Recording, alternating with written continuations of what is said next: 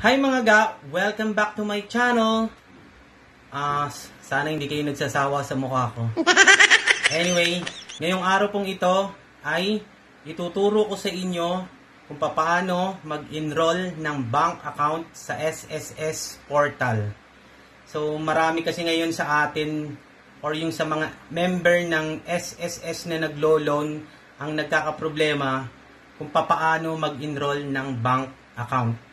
Kasi po si SSS, yun po ngayon yung pinakauna niyang requirements sa mga nag apply ng salary loan, ng uh, calamity loan, ng mga kung ano-anong claims, funeral, uh, mga maternity. So dahil nga po pandemic, hindi tayo pwedeng pumila dun sa mga branch nila. So nire-required nila lahat na mag-apply online. So yun nga, isa sa mga requirements nila is yung magpasa ka ng bank account. Kasi po, doon nila ipapadala yung mga pera or pagka na-approve po yung mga loan nyo or yung, kung ano man yung mga claim nyo sa kanila. So ituturo ko po sa inyo kung paano yung tamang paraan ng pag-upload ng ATM card kasama yung uh, deposit slip niya. Yun po kasi yung hinahanap nila. So bago yan, panoorin niyo muna to.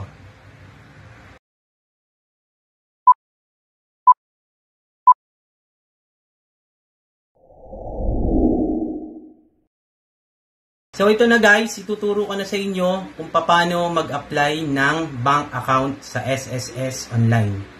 So pwede tayong gumamit ng cellphone or ng computer. So mas maganda kung sa computer kasi medyo mas malaki yung screen niya, mas mababasa natin yung mga tanong doon at yung mga menu doon. Pero kung wala namang computer, pwede rin po sa cellphone. O karamihan sa cellphone din talaga nag-a-apply. So bago yan, make sure po natin na yung cellphone po natin ay hindi malolobat. Okay? So, pangalawa, make sure din na yung cellphone nyo ay may access ng Wi-Fi. So, kung wala naman po kayong Wi-Fi, pwede po kayong mag-load ng data. So, kung wala talaga kayong Wi-Fi, meron pong mga ino-offer yung uh, smart globe sun or kung ano man yung network nyo na mga data load. So, okay, so kung ready na kayo, hawak nyo na yung mga cellphone nyo, punta lang tayo ron sa Google or sa Google Chrome na browser or kahit na anong klase ng browser pwede naman. So, dun sa Google, itatype lang natin dun sa search sss.gov.ph So pag nandito na tayo sa loob ng SSS, i-click lang po natin yung I am not a robot.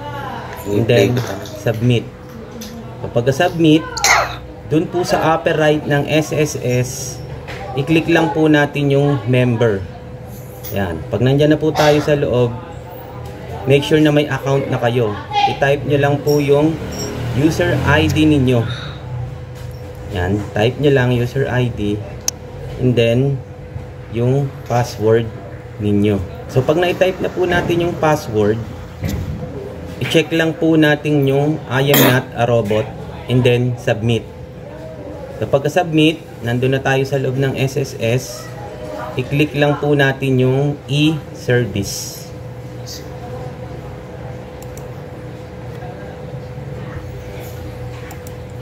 Pag nandun na tayo sa e-service, i-click po natin yung disbursement account enrollment module. Yan. And then, i-click po natin yung I certify. Click lang po natin yung box. And then, proceed. Yan. Yan. Pag nandyan na po tayo sa loob, yan, mababasa natin. Please enter your bank account details and mobile number. So, doon sa select enrollment options, i-click nyo yung bank. And then, isi-select nyo po kung ano yung bank ninyo. Yan, hahanapin nyo po kung ano yung bank nyo. So, ako ang gamit ko kasi BPI. Then, itatype nyo yung bank account number ninyo. i-select nyo yung select documents type. So, i-click nyo yung ATM card with account number. So, babasahin nyo po yung nakanote. And then, dun sa ilalim, may mababasa kayong attach readable colored image in JPEG or PDF format. Maximum file is 1 MB. So, make sure na 1 MB lang po yung size ng photos ninyo. Kapag na-click nyo na po yung choose files, click nyo kung nasa ang yung photos ninyo. So, kung saan siya nakalagay. So, click nyo lang yon and then, hanapin nyo siya kung nasaan yung pinaka-photos nung i-upload yung ATM at uh, deposit slip.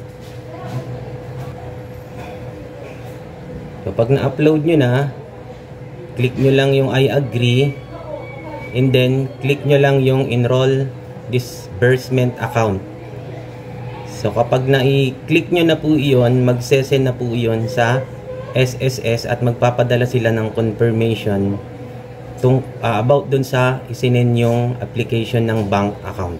Kasi once po na mag-enroll tayo ng bank account natin, dun po ipadadala ni SSS yung confirmation kung okay sa kanila yung in-apply nyong bank account. And then kung ma-approve siya within a week or two weeks, doon din po niya isisend na approve na yung inyong bank account.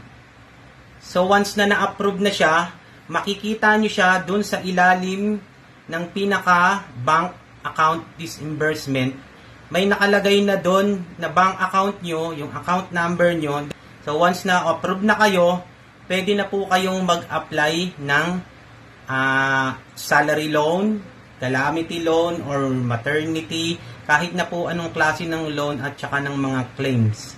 So, pwede nyo na siyang, uh, pwede na kayong mag-apply. At pagka po nagtanong siya kung anong bank account ang gagamitin doon, automatic po, nakaregistered na sa kanila yung bank account ninyo. Kaya i-click nyo na lang po siya and then yung okay nyo lang. So ayun guys, kung may iba pa po kayong katanungan o mga hindi naiintindihan, i-comment nyo lang po sa baba ng video ito. Kung kaya ko pong sagutin, sasagutin ko po yung mga katanungan nyo about sa SSS Bank Enrollment. So, ayun guys. So, sana nakatulong itong video ko para dun sa mga kababayan natin na gustong mag-loan sa SSS pero nahihirapang mag-enroll ng kanilang mga bank account. Uh, karamihan kasi Lalo na kapag mga baguhan pa lang, syempre hindi naman lahat marunong sa online. So maraming nahihirapan lalo na dun sa ating mga matatanda na, minsan nagpapatulong sila. So yun, mag-comment lang po kayo. Hanggat kaya ko pong sagutin, ay sasagutin ko po yung inyong mga katanungan. So yun guys, hanggang sa muli. Bago yan, uh, huwag niyo pong kalimutang i-click yung like, share, and subscribe my channel. So, salamat po sa inyong lahat. Hanggang sa muli guys, kita-kita ulit tayo sa susunod na vlog. Maraming salamat po!